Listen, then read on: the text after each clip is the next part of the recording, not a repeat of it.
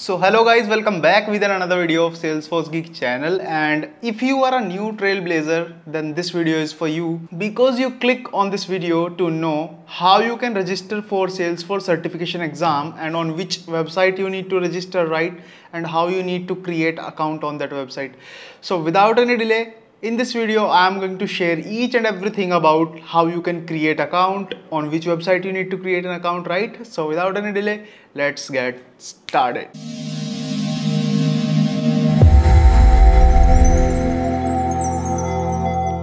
So in order to register for Salesforce certification exam, you need to visit this website called Web Assessor and then you need to simply type Salesforce and hit enter. So on to the first result, you will see website called webassessor.com. Just click on it and after this you will see this kind of interface. So now as you are a new Trailblazer, right? So you need to create an account first. So you will see there is a button called create new account. Just click on the link or button, whatever it is. I think it is a link. So now you will see this form, right? And you need to fill this form in order to create account. So in this video, I am going to create account for one of my friend. He is a new Trailblazer and he doesn't have any Salesforce certification and neither the Web Assessor account in order to register for Salesforce exam, right? Your username should be uh, in terms of email, like similarly as we have for the developer org, right? We need to enter uh, email like username. So similarly, here is the thing, but for the simplicity, just use your email as your login. So simply I'm going to provide the email ID here, shivang.tomar triple one at the rate gmail.com. Now after this, you need to provide a password. So I'm going to create a password for him. Later he can change his password. So you don't need to worry about like I know his password. Although he's, he's my friend but don't share your password with anyone. So now uh, you need to provide the legal name, which uh, name uh, will be displayed on your documents, right? So I'm going to type Shivang Tomar here. And why legal name? Because uh, let's say right now you can give Salesforce certification exam online but let's say you opt for the offline method where you need to visit a institute or a computer center right? That's where for the verification they check your details. So that's why they are uh, asking for your legal name. Now email address. So similarly as we entered email id onto the web assessor login similarly i am going to provide it here. After this primary phone. So i am going to provide his uh, mobile number so i'm going to like hide these details because these are personal. So i hope you understand. So you just need to provide your simple details over there. Now you need to provide your address one. Now you need to type city and state. Okay. So right now you can see in state you are seeing united states state. So first you need to change the country here. Select india. And after that you can select your states. Uttar pradesh in my case you need to simply type postal code again and now you will see email address associated with your Salesforce account. So just provide the name uh, which you usually used for creating developer account or if you have a Salesforce account on yourself, right? So you need to simply type over there. Now you will see company name. So if you are a student, right, simply enter your college uh, name over there so as Shivang is in, in a company now, uh, but he's a beginner, right? So he's going to provide the company name and Dazeworks is the company name. And after this, your name as you would like to appear on your certificate. So I'm going to provide Shivang. After this, are you a, right? So I'm going to click on this. Here you will see three options. SFDC employee, SFDC customer, SFDC partner. And this is the first thing where people get confused okay which option we need to select. So see here as Dazeworks is a partner company with Salesforce right? So Shivang need to select SFDC partner. But let's say if Shivang is in college or student so he need to select SFDC customer.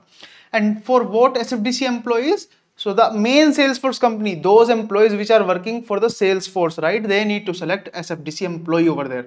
But now as Dazeworks is a partner with Salesforce, right? So uh, we are going to select SFDC partner here. Now you will see verification opt-in. Now what is verification opt-in? So as you see that previous video I created where you can verify your credentials, right? So if you select yes here, your certificate will be publicly available where anyone can verify your credentials right? So if you want to allow them to verify your cert uh, certifications publicly you can simply select yes. And if you don't want to uh, make your certification publicly available you simply select no. So yeah we are going to select our salesforce certification as public because you achieve something. So why not you make it public right so there is no point to uh, hide your Salesforce certification. It's a matter of sharing that you have such knowledge. What are certifications? Certification are just a validation that you hold this type of knowledge, right? Simply uh, select yes.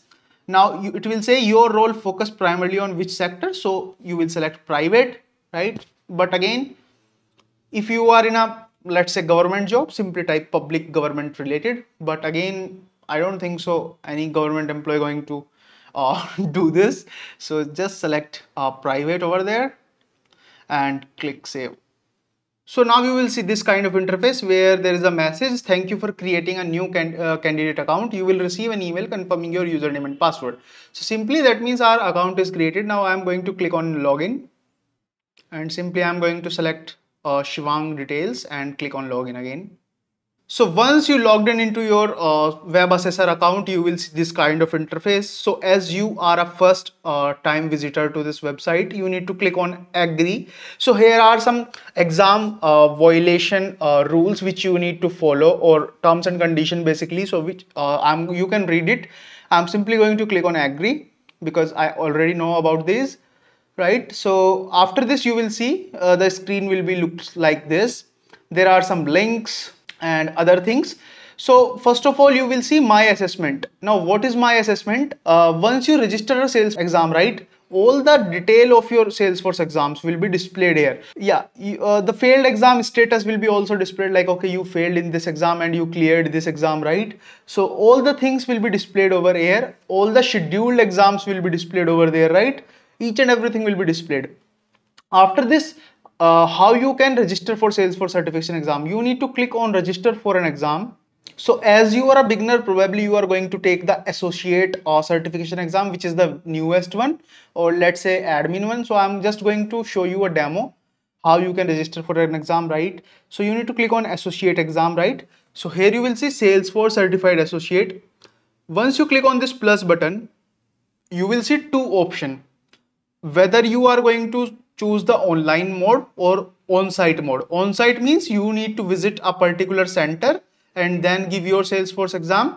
Online is basically you can give at your home.